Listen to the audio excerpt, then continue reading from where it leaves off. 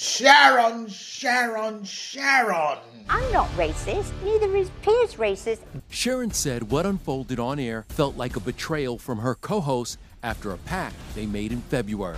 Stand up for anti racism. And I'm like, I've been set up.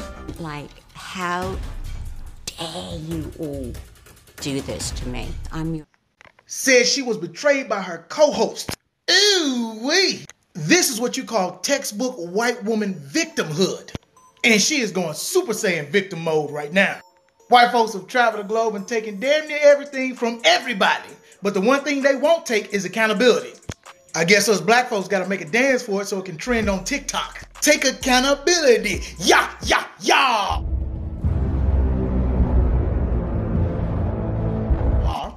Sharon Karen Ronald McDonald is out here crying Big Mac tears loaded with special sauce. Like she ain't called Julie Chen slanty eyes and wonton. Sharon. Holly Peete Robinson said you said she was too ghetto.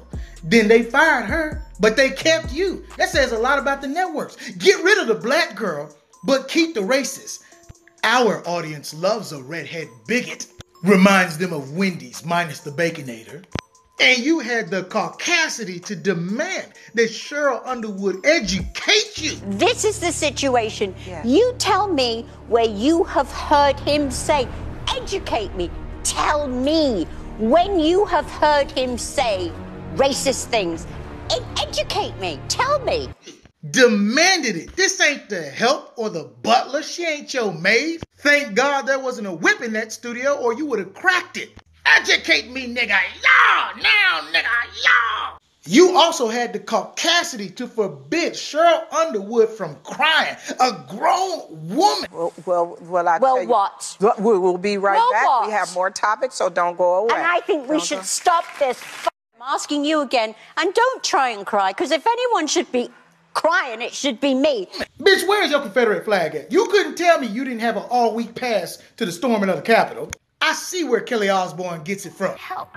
And if you if you kick every Latino out of this country, then who is going to be cleaning your toilet, Donald Trump? Oh, Oh, yeah, she said it. oh, that's not. In the sense that you know what I mean, like what I'm saying that There's more. There's more jobs to be in LA they always But, but they don't. Are not only the No, only people I didn't mean doing it like that. Come on.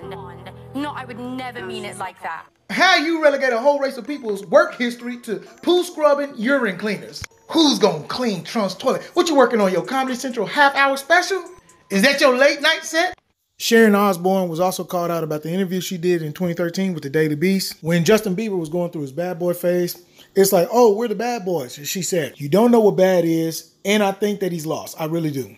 I think he doesn't realize he's white and not black. That's a huge problem. And at this point in his career, it's so dangerous because we've seen it all before a million times. I still can't get over the fact that this woman forbid Sheryl from crying and said that she should be crying. You rubber mask head hoe. That's why your plastic face is made out of condom skin now. I bet you cry candle wax.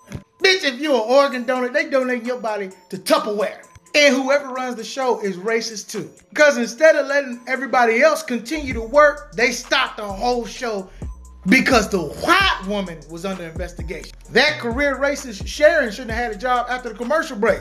Because if that was Sheryl Underwood, oh, they would have called the police. The officers would have arrested Sheryl, the woman who did her makeup, her hair, and her wardrobe. You would have seen all the stylists in handcuffs leaving the studio. And Sharon just pointing at him like, she told me not to cry. Get that nigga out of here. Get away from me. Where's my tea and crumpets? I need it now. I'm Wellington Ojuku, and this is the Juku Report. I'm out.